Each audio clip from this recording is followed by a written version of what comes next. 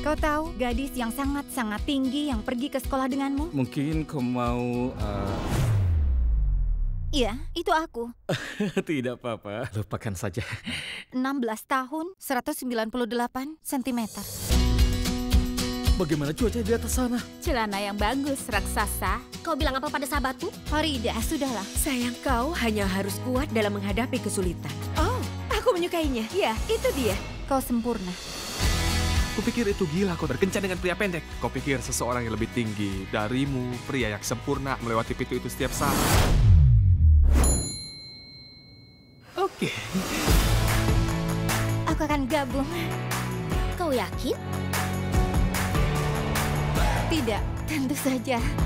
Maksudku orang itu baru saja keluar dari bea cukai sejam yang lalu dan dia sudah menguasainya. Apa kau menyukai Amerika? Aku sangat menyukai Amerika. Suatu hari, Jody, kau akan berdiri dan berkata, Aku suka dengan tinggi badanku.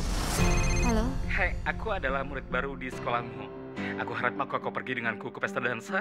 Ya, ya, tentu, tentu maksud. Kena kau. Hadapi itu, Jody. Kau gadis jangkung.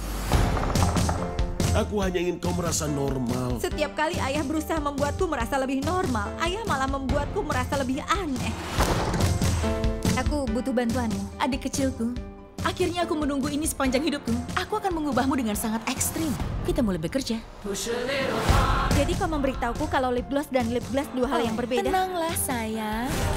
Aku mirip sofa milik nenek. Atau seorang putri duyung cantik. Ini baru diriku. Aku suka Jody yang baru. Hadapi ketakutanmu, Jody. Kejarlah apa yang kau inginkan, Jody. Aku sudah jatuh cinta pada gadis ini sejak SD. Pria baru ini meledakkan rencana tujuh tahunku.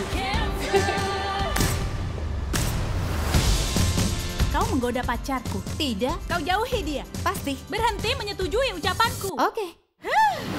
Kita punya sesuatu tentang diri kita dan berharap kita bisa berubah. Dan kau adik perempuan besarku. Itu sangat berarti. Yang bisa kita kontrol adalah bagaimana kita menghadapinya. Kalau wanita tinggi, itu hanya jadi tontonan. Bukan hanya itu yang aku lihat. Dan aku hanya ingin memastikan kau tidak terluka. Oh.